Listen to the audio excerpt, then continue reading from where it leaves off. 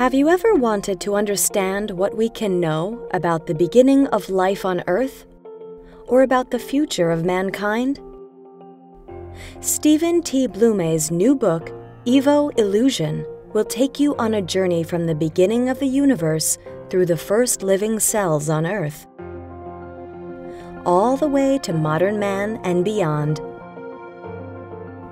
If you're interested in exploring what current science says about the origins of living species and their biological systems, Evo Illusion will definitely provide you with a unique perspective and critique. Evo Illusion tells a fascinating story of biology, astronomy, particle physics, and biochemistry that anyone can understand.